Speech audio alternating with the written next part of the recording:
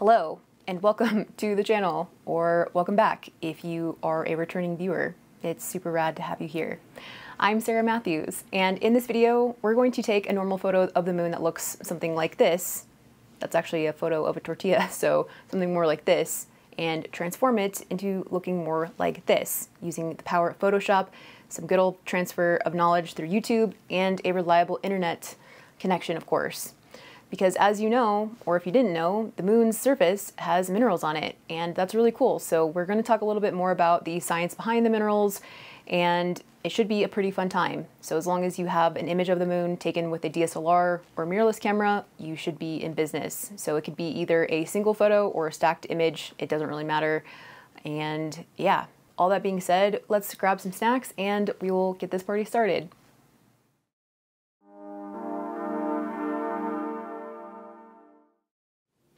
Right, we are here in Photoshop, obviously, and I have a photo of the moon that I took a couple years ago, and I used a mirrorless full frame camera with this. But if you have an image of the moon from a different lunar phase, please feel free to use it. You can definitely apply these uh, processes to that image as well. Now let's say that you wanted to bring in a stacked image of the moon. So where you took multiple photos of the moon, you picked the best ones, stacked them all together to get more signal or more data to reveal more details. You could definitely bring in that image into Photoshop, but you are going to first have to convert it and you're going to convert it to a .tiff file. Now it's okay if it remains a 32-bit .tiff file. Um, we will just convert it to a 16-bit file later on after our first round of adjustment layers. So the next thing that I'm going to show you is how to bring in a RAW file from a DSLR or mirrorless camera, since sometimes that can be a little bit confusing. And I'm also going to show you how to remove fringing or chromatic aberration where you have this purple or green separation. So I'm going to show you an example of what that is. So I'm going to bring that into Adobe Camera Raw. So come up here to File, Open. So here I have this image. I'm going to press Open. And this is a single image from a DSLR, actually this DSLR and this camera lens here. And I'm going to zoom in. And if you're not familiar with what Adobe Camera Raw is, it's a plugin for Photoshop CC that allows you to bring in a raw image from our DSLR or mirrorless camera and bring it into Photoshop because it's actually going to reconstruct the color data from the camera sensor, more or less. But you can also do a lot of different types of adjustments as well. And it's not just for raw images, you can bring in a JPEG or a TIFF, etc. But the reason I'm showing you this is because I want to show you what that color fringing is.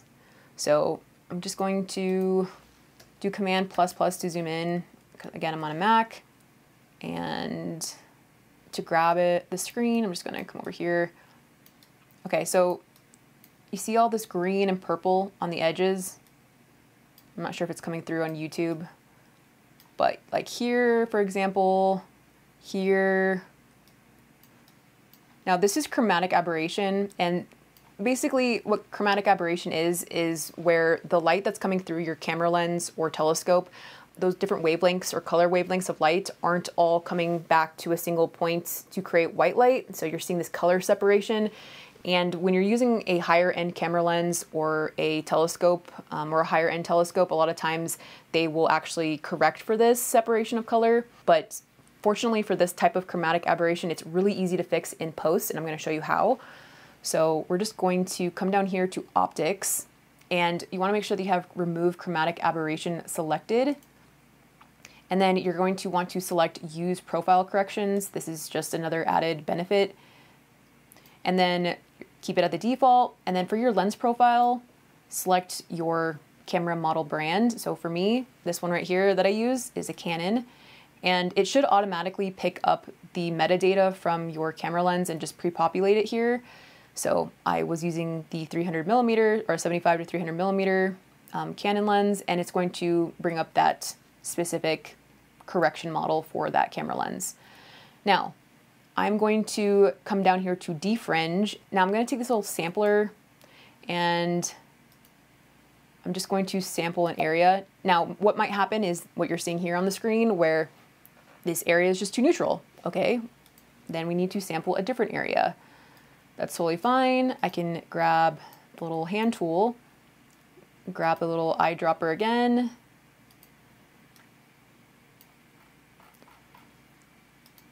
Okay, now what we need to do is is we are going to apply some manual adjustments by changing like the purple amount just to kind of get the right color balance that we're going for. So just zoom out.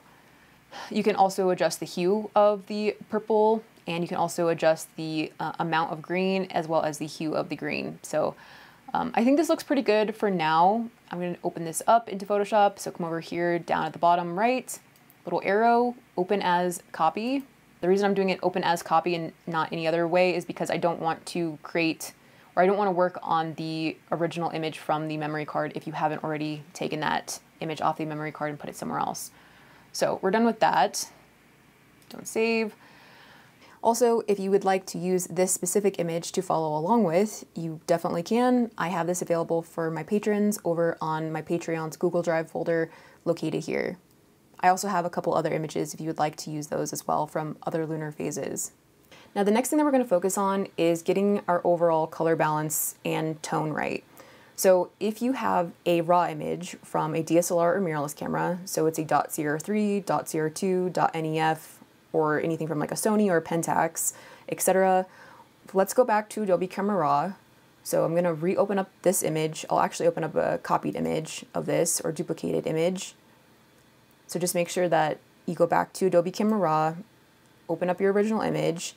The nice part about working in Adobe Camera Raw with an actual raw image from a DSLR mirrorless camera is that it gives you a ton of flexibility with the sensor data, so you have a lot more room with your overall dynamic range, you have more room to make adjustments with your overall color balance. So that's why we're back here in Adobe Camera Raw. So I'm going to just um, try auto and sometimes this works really well for an image. I have a couple images where it does, but for this image, it kind of makes it look a little bit flat. I could certainly come under here under the lights panel and make some of these adjustments to kind of get it less flat looking, but I'm not going to do that today. I'm going to turn off auto. Where I really want to go to is down here at calibration. And of course, if you needed to make your chromatic aberration adjustments or fringing adjustments, please feel free to do that. But under calibration, under process, I want version 6 current selected. And then I'm just going to increase these values for saturation for each primary color channel. So with red, I'm just going to boost it to 100. For green, I'm going to do the same. And for saturation, I'm also going to do the same. And this just brings out the colors a little bit more, which gives us a good starting place for us being in Photoshop. So come down here to open, open as copy. I suppose I don't need this anymore, so I'm just going to close out of that. So the next thing I'm going to do is come up here to image, and I'm going to rotate this. Come down here to image rotation. I'm going to just rotate this 90 degrees counterclockwise. And if you wanted to zoom in, it's the same thing with Adobe Camera. Command plus on a Mac, or Command minus on a Mac to zoom out, Control plus on a Windows device to zoom in, Control minus to zoom out on a Windows device. Now the next thing that we're going to do is work with some of our adjustments, and we're going to be using layers to make these adjustments, and the nice part about layers in Photoshop, if you're not familiar, is that it gives us a lot of flexibility to go back to one of these adjustments. If we need to make some changes to that adjustment layer, we can turn off that adjustment layer if we need to. We can blend it in a certain way, all without degrading our background image here. So in the layers panel. So if you want your workspace to look like mine, come up here to Windows, Workspace, select Photography.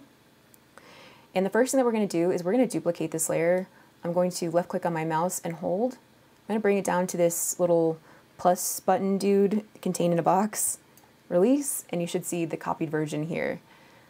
The next thing that I'm going to have to do is I'm going to have to just remove this little Doobler dust mote dude here. If you don't have any sort of issue like this, please feel free to move on to the next section. But I do have this issue, so I'm going to duplicate this layer again. I'm going to change the text to Doobler removal slash spot healing brush, because that is a technical term. Press enter, and then over here on the left hand side, I'm going to use this spot healing brush tool. So I'm just going to zoom into this little dude, say hi, command plus, hello. so unfortunately, this is a dust mote, and ideally you wouldn't have any dust on your optics, but alas, sometimes you just do. And usually you should correct this with flats, but I did not. So I have my brush tool here on the left hand side, the spot healing brush, and I have the little circle brush here to make this brush bigger. Do right bracket on your keyboard to make it smaller. You can do the left bracket. And I'm gonna keep everything the same. The size is just what I showed you. You can just use the slider instead. I'll keep, or I'm gonna move the hardness up to eight, and I'll keep the spacing at 10. And the type is just gonna be content aware. Blend mode is gonna be normal. So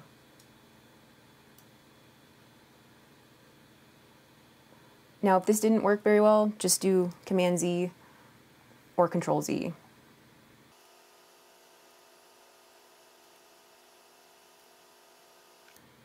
okay, that's kind of the best it's gonna be, unfortunately, but it's okay. Stuff happens. So to no longer have the little brush tool activated, come up here to the move tool and we can keep going. So the next thing that I wanna do is I want to duplicate this layer here. If you didn't have to use the spot healing brush, then just duplicate the background copy. I'm just gonna name this auto color, auto color test. And this may work for your specific image, it may not, but I just want to show you because what we're really trying to do is just get our colors in, in alignment. So come over here to image, auto color, and it did a pretty good job, but my concern here are these highlights in the highland regions. They are blown out, and when something is blown out or clipped, you just can't get that data back, and it just degrades the overall image. So I am not going to keep that. And the reason I know that is because if I open up levels, our levels adjustment tool here, um, levels gives us an overall view of the histogram and I'm looking at the RGB values. So over here we have the highlights at 255, we have our midtones here at 1, and we have our shadows over here at 0.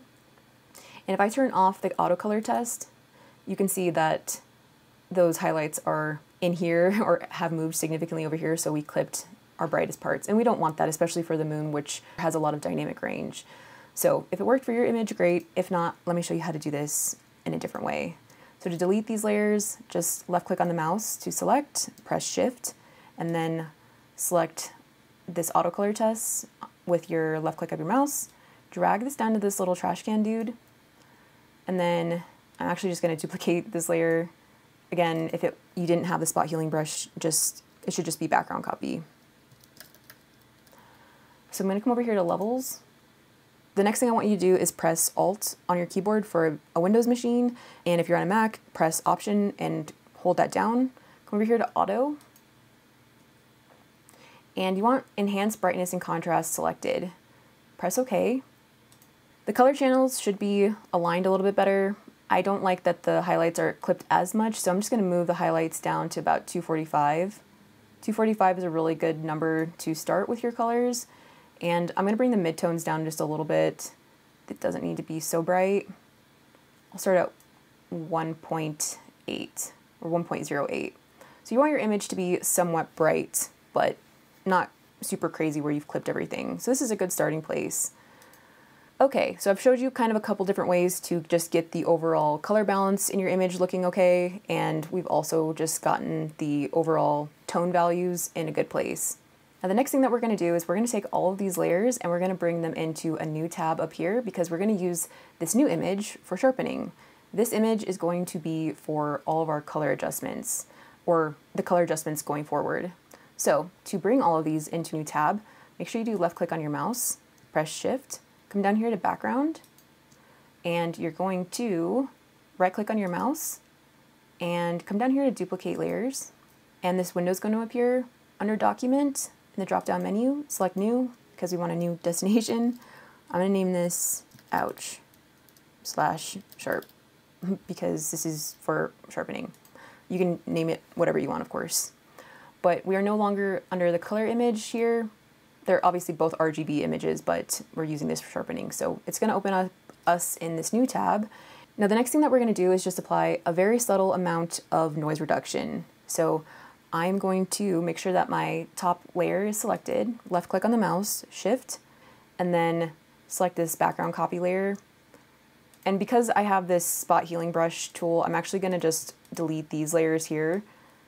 Um, if you didn't have to use the spot healing brush, please keep those, but I am just going to duplicate this layer again, and I'm going to just turn off that. So take your top layer, press shift, and then select this here, your second to last background adjustment. And then we are going to convert this to a smart object by right clicking on our mouse, convert to smart object. And this is just another way that we can apply some of these processes without being destructive. I'll turn this layer back on actually. So I'm gonna double click on the text. I'm gonna name this blur, like the band, press return or enter. And then I'm going to duplicate this layer by just holding left click on my mouse, drag to this little plus dude. I'm gonna rename this high pass. You could name it HP for Hewlett Packard or Harry Potter or whatever. Press enter and then turn off this layer's visibility. Come over here down to blur, make sure it's selected. Come up here to filter at the top. Come down here to blur and Gaussian blur. And I'm just gonna zoom out really quick. And what we want with this is just to apply a very subtle amount of noise reduction to our image. If the moon appears smaller in your field of view than here, then I would recommend applying maybe a value of 1 or 1.5. You can always go back and change. And if you have a stacked image, you could probably get away with not having to use any of this blur at all. You could just go right to high pass. But I'm going to start with 0.4. Again, the larger the value, the more blur. So for me, I'm just going to try 0.4. I'm going to press OK. And I'm going to come up here to high pass, make sure it's selected, turn on its visibility again, come up here to filter, come down here to other, over and down to high pass. And I'm not sure if you can see this through YouTube because it's pretty faint, but I'll try to zoom in. Now the nice part about using a high pass filter to sharpen something in Photoshop like the moon is that it's going to really enhance those details uh, like edges and textures while we can try to preserve some of those smoother areas to avoid over sharpening. Now, if you have an image of the moon where it appears smaller in your field of view, I would probably start at a radius uh, value of about 1.5. If you have a stacked image, you could probably go up anywhere, maybe up to 10, but I will caution you that going up too far, you're going to start to get these artifacts on those edges that I was talking about, which is not really typically a good thing, but you can always go back and make adjustments if you need to. So I'm going to start at 4 for my specific image. I'm going to press OK. And you're like probably like, whoa, what happened? You can't see anything. Come up here to the blend mode under normal in the drop down menu, and we're going to select linear light and we should now see a lot more detail. In fact, I'm actually probably gonna just bring this down a little bit to like three. So I think that looks pretty good. Again, if you need to change any of these settings, just double click on Gaussian blur or press high pass and you can make those adjustments. Now I'm going to show you how to convert a 32-bit image to a 16-bit image. So I'm just going to open that up. If you don't have a 32-bit image, you can just skip ahead. So this image here is a stacked image. So I'm going to press open. It is a .tiff. I'm going to keep the embedded profile since trying to convert sRGB to Adobe RGB is usually lossless to my understanding, so I'm going to press OK. So this image here is from Siril. It's a stacked image that I created by taking multiple images of the moon, um, using a DSLR, stacking the best ones together that were the clearest, and then I cropped the final image and I did apply some color calibration or some green noise removal and then I applied some sharpening. So I am just going to come over here to levels. I'm actually going to duplicate this layer. And if you have this gray cast, that's totally okay. Open up levels and we're just going to manually kind of bring this to a linear state by bringing down the shadows. You may need to use some of these sliders in a little bit of a different way depending on your histogram. But start with levels and the goal is just to get your image to a place kind of similar to this. If you have a Terminator line, be very mindful of that as well. So that looks pretty good. I could probably bring up those highlights just a little bit. And that looks pretty good. So I will close out of that. If you need to make multiple levels adjustments, you can. Now to convert it into a 32-bit image, because as you can see here at the top here at the tab, it says 32. We can also see that some of our adjustments here are grayed out. We can come up here to image, mode, and it also says 32-bit. So make sure your top layer is selected, press shift, and then select your last layer, your background layer, and then you're gonna come up here to image again, mode, come down here to 16-bit channel, and you're gonna have to merge the layers together, which is destructive in a sense, but it's really the only way that we can get to a 16-bit image so that we can start working with some of our other color adjustments. So press merge, and under this window here, under method, under the drop-down menu, select exposure and gamma, and we are good, and you can move about the cabin. Press OK, and we are good to go. You could duplicate the layer, but I'm just going to close out of this, and I'm going to come back over here to my color image. So the next thing that we're going to do is we're going to start working with our color adjustments. And I like to use Vibrance just as a starting point. Vibrance is really nice because it's going to help us just bring out those less saturated colors from the onset. I'm not going to be aggressive with this at all. I'm going to be very slow to make these adjustments. So I'm actually just going to use a value of 10. And I do want to also preface that you don't have to make any of these adjustments in the same way that I am. Just do whatever you think looks best, but do be gentle with each adjustment. And of course, if you have a stacked image, you're going to be able to be a little bit more aggressive with these steps because you have more data to work with. Okay, so I was very subtle with my vibrance. You probably can't tell much of a difference, but that's kind of the point. So the next thing that we're going to do is we're going to come over here to hue and saturation and we're going to keep the default settings here with master selected. And I'm going to select 10 again. So I'm not sure if you can see some of the colors start to appear in your image, but in this image here, we are starting to kind of see some of those hues from the sun reflecting those chemical compositions, which is really neat. We have a lot of different areas on the moon. Um, we have these kind of brighter areas known as the highlands here and here and here. And these, of course, are areas higher in elevation. But then we have these lower elevation areas like here and here and here and here. These are known as the seas or the, the Maria. This is the Sea of Tranquility. Uh, and what's really interesting about Maria is that they originally formed from basins when the moon was kind of done hardening and then we had a bunch of volcanic activity and what you're seeing here with this kind of orange and blue coloring, the minerals from different lava flows. Specifically this blue coloring and this indicates titanium in this region.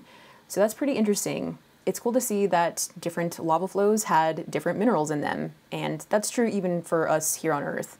We of course also have very large craters. We have Copernicus over here, and we also have Tycho over here. Each of them also have a mountain range in the middle, which is crazy. And Tycho also has such large ejecta that expands even to the far side of the moon, or the, the side that we can't see, which is absolutely wild how big of an impact that is. And also in the Sea of Tranquility over here, you can see some of these impact craters as well. So um, you can kind of see this history. You know, we had these lava flows and then we had these craters occur, and you can see just kind of this story of how the moon evolved. And how the moon looks now is not what it's going to look like in a million years. It's just going to keep evolving from more impacts, from the solar wind kind of carving away at it, and especially if us humans start to inhabit it, if we start to mine the minerals on it, you know, obviously that's a very controversial topic, but it's an interesting topic nevertheless. So, the moon's minerals are just very interesting. I highly recommend looking into the geology. Okay, now that we're done with this that science lesson, let's come back over here to hue and saturation. And I'm going to keep it at master. I'm going to repeat this at 10. Do that again. 10.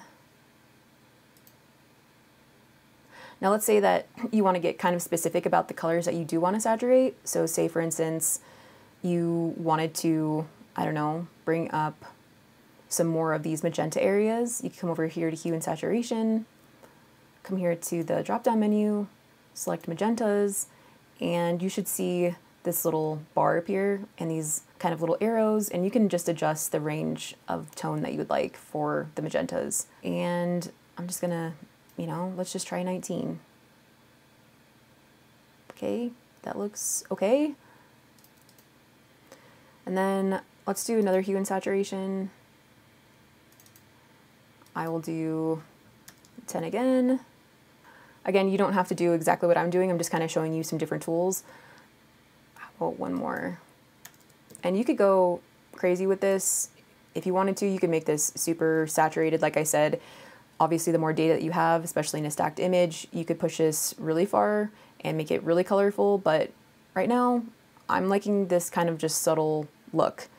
The next thing that I'm gonna do is I'm gonna come over here to my sharpened image and I'm gonna make sure that my top layer is selected, press shift, come down here to the last layer, and we're going to right click on our mouse and we are going to convert it to a smart object.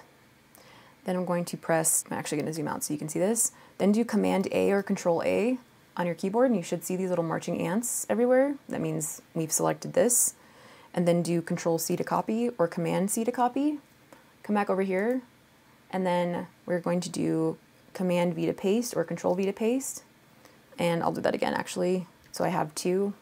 I'm going to turn off this layer, layer two for now. Come back here to layer one. And there are lots of different blend modes you could use. You could also change the opacity or how much you're seeing through this in this final image, but let's try overlay. It's pretty intense, but I just wanted to experiment and kind of show you some different options. Come up here to layer two, turn on the visibility for that layer. Let's go back to the blending mode and let's try luminosity. So I think that looks pretty good. We could change how much of overlay that we wanted. We could do, I don't know, 60%, just so that we kind of get a little bit more detail going on, but not a ton. Now, you could also make some very selective color adjustments by coming up here to select color range. And under sampled colors, we could, you know, look at the highlights and you can adjust the fuzziness, you can adjust the range of the highlights. You'd be very, very specific. I think that's okay. Let's press OK. Again, you don't have to do this. I'm just kind of try trying to show you the tools uh, and how to use them. So if you do want to make your own, you definitely can. So maybe we will try Vibrance.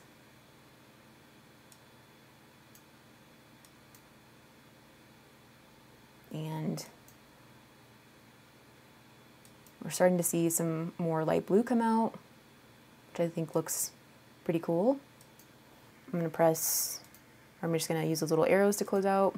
Now, let's say we wanted to add some curves because we wanted some contrast, for example. We could just take our little pointer finger dude and since I don't want to make any adjustments to the brightest areas or to the darkest areas, I'm just going to sample those. So you should see the, that dark point here and that light point here. And to bring a value up or to make it brighter, you could of course, you know, bring it up or bring it down. You could of course like do like a nice little S curve. Just kind of, you know, whatever you think looks best. I don't like that, so I'm just going to delete it. But yeah. So I would recommend saving this as a .psd file, coming up here to File, Save As, and then just, you know, saving it as a Photoshop document down here, press Save, and then you could also export it as a TIFF or PNG as well by just coming over here to File, Export, Export As.